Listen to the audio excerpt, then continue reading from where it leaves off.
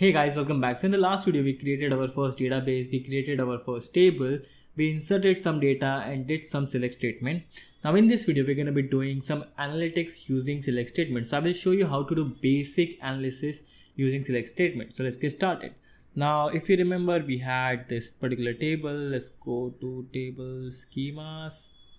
Inside the schema, we have tables and over here we created a table name as teachers. We also inserted some of the data so let's just uh, select the entire table teachers and just run this query and we'll see all of this data inside this particular table okay?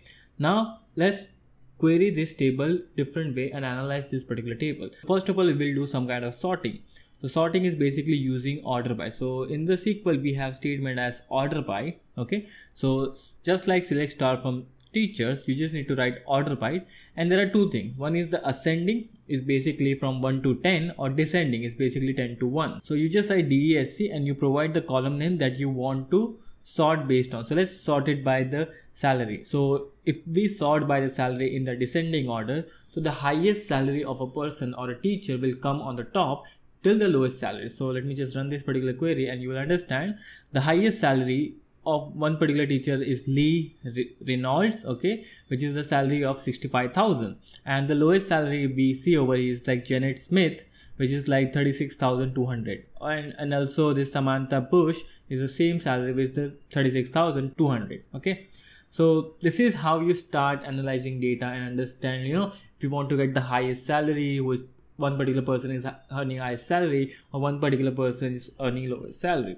Now we can do in many different ways. So we can sort it by two different things. Let's say if we want to sort by school also. So school let's sort it by school in ascending order. So from a to z and the salary will be in the descending order. Okay? So as you can see over here the school is in the alphabetical order. So f m and r and you can also see the salary in that particular descending order. So for this particular school we have salary in this particular descending order. For this particular school we have salary in this particular descending order and this is the last salary okay? So as you can see this is kind of like the grouping them based on the different school and then providing the highest salary in that particular school and the lowest salary in that particular school. So this is kind of like the if you want to find in one particular school what is the highest salary and what is the lowest salary. You can also use the group by and we will look the group by in the future videos. But in this particular video let's understand the basics okay? Now let's understand how to filter data. So let's say you just write a select star and this particular thing returns all the data from the table. Now i just want this particular data from this particular school information. So you just have to write where school is equal to and in this in the single quotation mark you just have to provide the school name okay? And you just have to run this. And you will see we just filter out the entire data and we are only getting the information about this particular school. This is as simple as possible. Now you can also do instead of school you can let's do the first name and let's provide the first name as uh, janet and just run this okay? So you will get one information about the janet. I, I can also do this uh, for let's say let me just pull out the record and I'll just do it for my name. So I will do Darshil and you'll see it will only return my record. So this is how you filter out different data.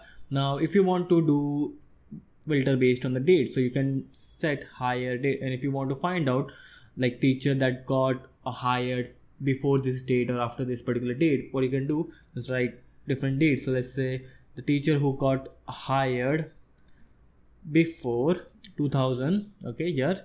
And you'll see this is the teacher that got hired in 1993 now if i want that teacher that got hired after 2000 and these are the, all the teachers that got hired after 2000 so this is as simple as, as we can see. So let's say if you want to find teachers with the range of salaries okay you can also do that where you just have to write where salary between there's a, this is a keyword inside the SQL between and you just provide the range of salary so let's say between 40000 and 65000 okay? And this will return all the salary that is between this particular range. So as you can see we only we are only getting the salary which is greater than 40000 until 65000 okay? So this way you can filter out different data. You can also do that something like this.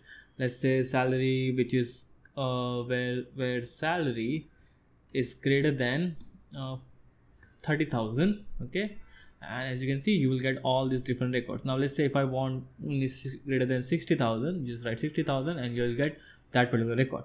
So this is how you start analyzing different data and start understanding. So this is very basic okay? This is like the one line statement to filter out different data. But in the future we will write more than like 100 lines of code even 500 lines of code to do some analysis on top of it. But the basic starts with this by writing simple select statement. Once you are able to do this kind of select statement and understand what the data contains then you can write more complex query then you can do joins create window statement and all the other things to do analysis in more detail. But this is where everything begins. And i just wanted to make this particular video because this is how you get started by writing different queries. Most of the people jump onto advanced concept and don't understand anything and then they give up. So instead of just going and reaching onto advanced concept, let's go step by step and understand why you are using that particular statement. So this video was completely focused on select statement. Now in the next video, we will look about some of the advanced topic in the SQL. So thank you for watching this video and see you in the next video.